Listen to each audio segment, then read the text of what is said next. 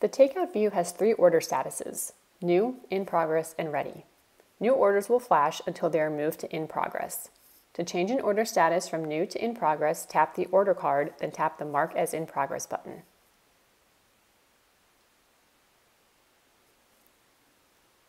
As you work on orders, you can tap an item to strike through it. When an order is ready for pickup, you can change the status by tapping the Mark as Ready button.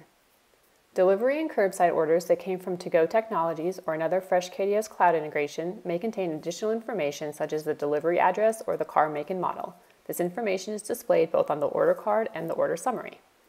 To remove an order from the screen, tap the Complete and Clear button.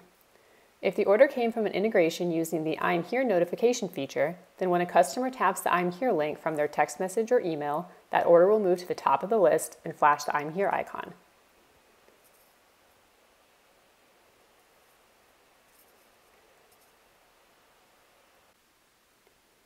If the screen has the Send Text on Order Ready feature enabled, you will be able to manually send a text to the customer from the Order Summary view.